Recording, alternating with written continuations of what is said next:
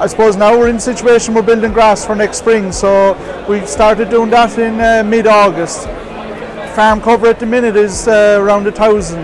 Um, probably there was September was an exceptional month for growth, late August, September. So we've more grass maybe than what we, we didn't have to panic on building grass.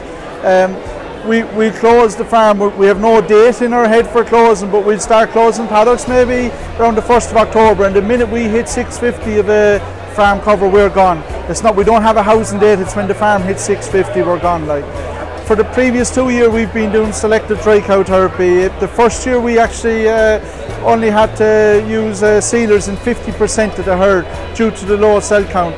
We set targets for that that we, anything under um, 70 of a somatic cell count only got a teat sealer.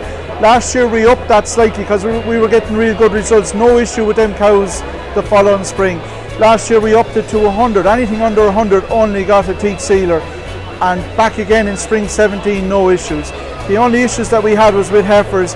We'll probably change that slightly. Heifers were reared on straw beds prior to calving.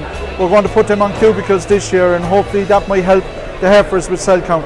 But cows, no issue. And we're, we upped that last year to 70% of the herd got uh, only teat sealers with anything under 100 of a somatic cell count. Yeah, we, we do the milk samples for culture as well.